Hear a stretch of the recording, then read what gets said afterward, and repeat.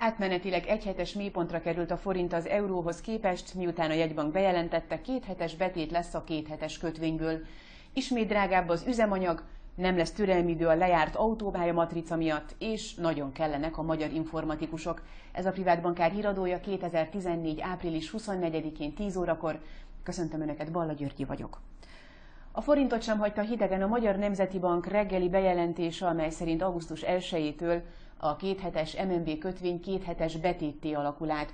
Balog Ádám alelnök a reggeli sajtótájékoztatón azt mondta, az a cél, hogy a jegybank saját eszköztárával is támogassa a belső forrásokat, így mérsékelve az ország külső sérülékenységét.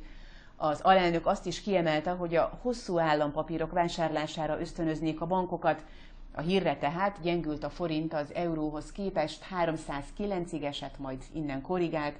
Most egy euróért 308 forint 35 fillért kell adni a bankközi devizapiacon, míg egy svájci frankért 253 forintot.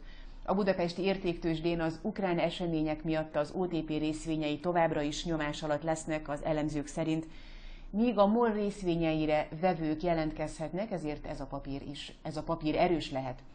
A német IFO indexet délelőtt hozzák nyilvánosságra, ennek lehet piacmozgató hatása.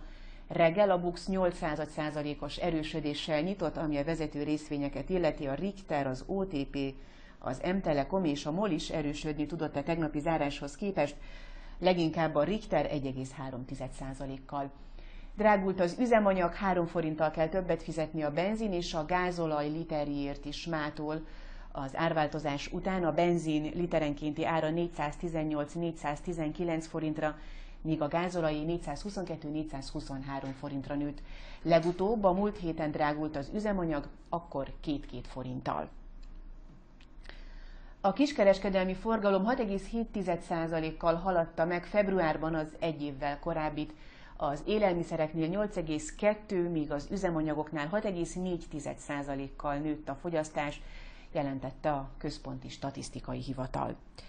Nem lesz türelmi idő azoknak az autósoknak, akiknek lejárt az autópálya matricájuk. A Nemzeti Fejlesztési Miniszter egy képviselői kérdésre válaszolva közölte, a havi matricával februárt kivéve legalább egy-két nappal tovább lehet utazni.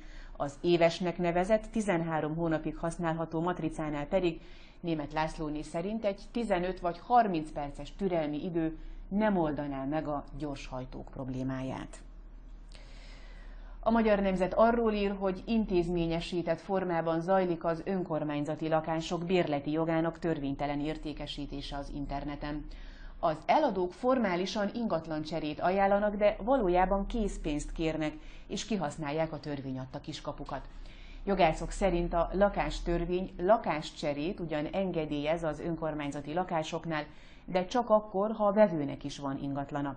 Arra viszont nincs lehetőség a törvény szerint, hogy a bérleti jogot bárki értékesítse. A világ legnagyobb közösségi hálózatát, a Facebookot működtető társaság 72%-kal 2,5 milliárd dollárra növelte bevételeit, nettó eredménye pedig csak nem háromszorosára 642 millió dollárra nőtt az előző év azonos időszakához képest. A Facebook a felhasználók folyamatosan növekvő száma miatt egyre értékesebb a hirdetők körében. A reklámbevételek egy év alatt 82%-kal 2,27 milliárd dollárra nőttek. És végül arról, hogy egyre több a betöltetlen informatikai állás, emiatt lassabban tud nőni a magyar gazdaság. A Népszabadság azt írja, az Informatikai Vállalkozások Szövetsége szerint, ha be tudnák tölteni azt a tízezer munkahelyet, amelyet az ágazatban 2013-ban regisztráltak, az 120 milliárd forinttal növelni a bruttó hazai terméket. 15 ezer új informatikai munkahely létrehozása pedig már 1%-os GDP növekedést eredményezne. Egy órakor lesz legközelebb híradó itt a Privát Bankár oldalán, addig is olvassanak bennünket. Köszönöm figyelmüket, viszontlátásra!